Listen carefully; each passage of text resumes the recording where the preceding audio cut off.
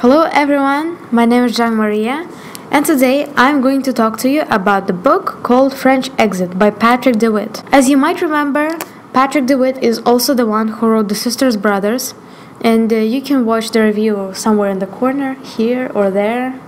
I don't know. I also made a review on that book, and uh, The Sisters Brothers is about two brothers hitmans, Charlie and Ellie sisters, and uh, DeWitt is also a best selling New York Times author. So, French Exit came on me as a sudden surprise.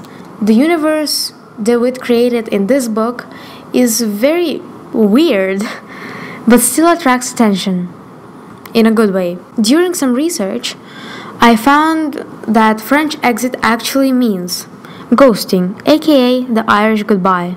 The French exit and any number of other vaguely ethnophobic terms refers to leaving a social gathering without saying your farewells. One moment you're at the bar, or the house party, or the Sunday morning wedding brunch. As the cover suggests, French Exit is about a mom, Frances Price, and her son Malcolm Price. Frank Price, the father of the family, the husband, died 20 years ago, being one of the most famous and paid lawyers in the USA. The Price's money is kind of finishing, and from the 1st of January, they'll be kicked out, their properties and cash will be gone. So, when asked a question on why the money ended so quickly, 65 year old Frances Price said, My plan was to die before all the money was gone.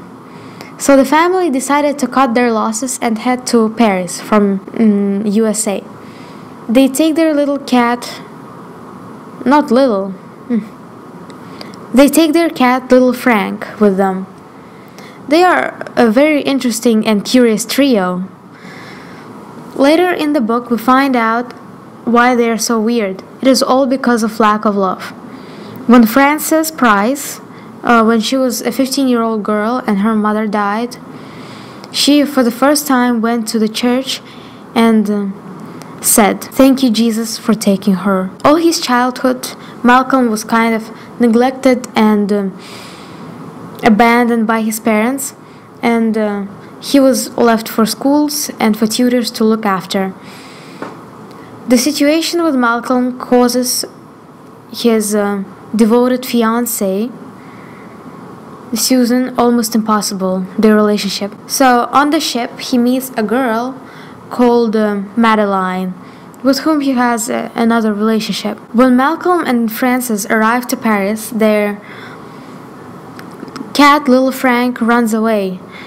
And Frances suddenly becomes obsessed with the idea that Little Frank is actually Frank Price, her husband, her husband who died 20 years ago, and that the only person who can talk to him is Madeleine. As it is proved later, she's correct, absolutely. Actually, the odds were very small, in my opinion, that she would guess it right. I mean, even in a book that is fiction, I mean, it's quite impossible to get it right. This book is ironic comedy. I found it weird in a good sense.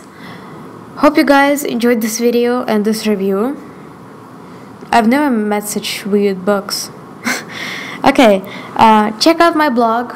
There's uh, an article there about the book, and yeah, it's uh, it's very nice. It's it's very nice.